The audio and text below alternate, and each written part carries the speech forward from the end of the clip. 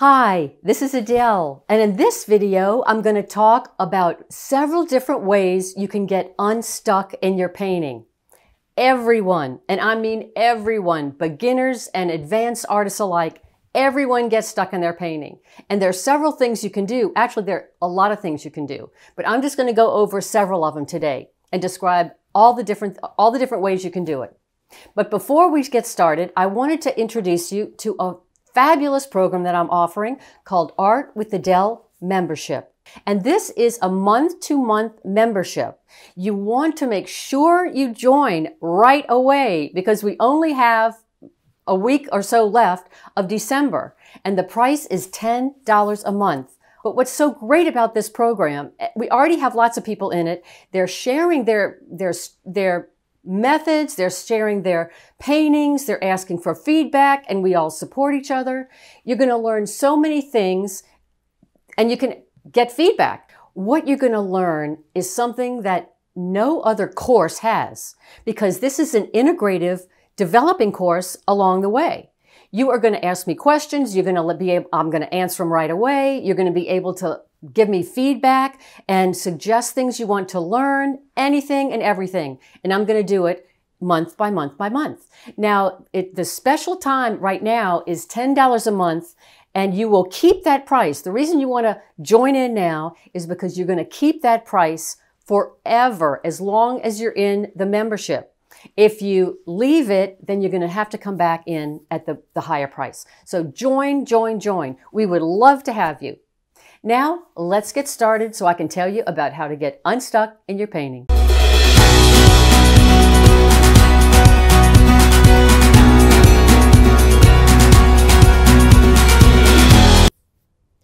One of the mo most frequent questions I get asked is how do I get unstuck in my painting?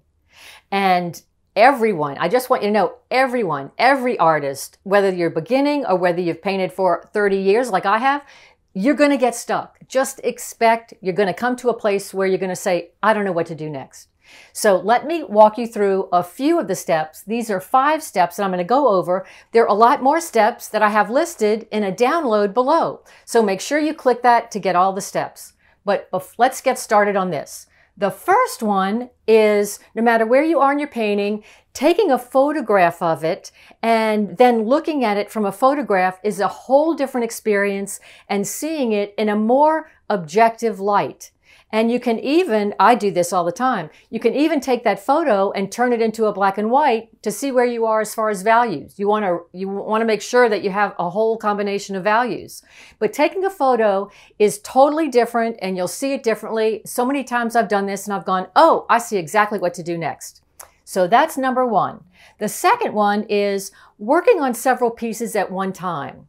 I personally always have several pieces, even if they're large canvases or small pieces of paper. I have several so that if I get stuck on one, I'm going to move to the next, move to the next, and move to the next. And by, by doing that, sometimes, most of the time, by doing that, I have ideas that come up in working on the other ones. And by the time I get back to the other, the first one that got me stuck, I already know what I'm going to do, or at least I have an idea for the next step to get me past that unstuck stage. Now, the third thing that you can do is take a pause and get you know move away from the from the painting that you're working on and do an exercise. So you're not thinking so much you want to play and just experiment. And you can do color mixing just get out your color mixing. You'll all you know that's a great time to do that because you may end up coming up with the color that you hadn't thought about but you mix and you're like oh i might use that in my painting Another one is um, I have a, a, video and I'm going to put it below so you can look at that. I have um, an exercise where you write prompts down, things to do, and you put them in a bowl and you just pull them out and then you do whatever it is that, you, that it says. And one of those, actually, by doing that, might end up giving you an idea for the painting that you're stuck on. So that's really important. And I also have another video that I've done, and I'm going to link that below too, where you just have a piece of paper. This is a quick, fast acting, so you're not thinking. And you put tape on it, and you're going to paint it. And then after it's all dry, you put the paint up, put the tape up, and you're going to see something, whether you do four of them or six of them, there's something that's going to spark an idea. It happens every time. I'm sure of it. So these are three things that you can do, exercises, while you're, you know, to kind of start stimulating your creativity to think how to get unstuck.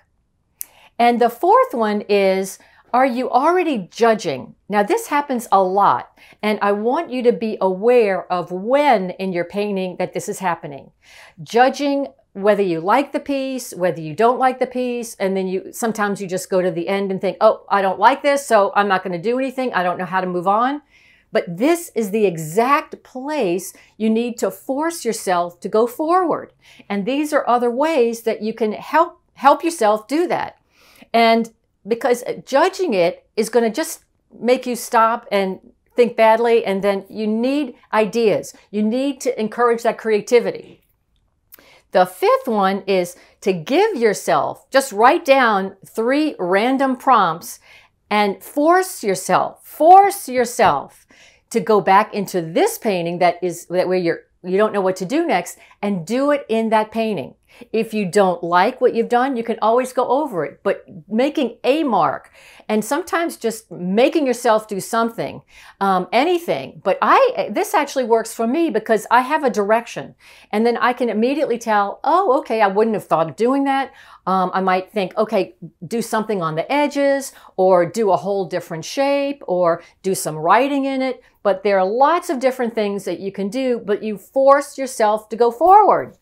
Now, I have the download below that will give 12 steps, so there are more to this, but I wanted to just go over these five. I hope these really help, and let me know below if any of them that you like or that you're going to try and how they turn out.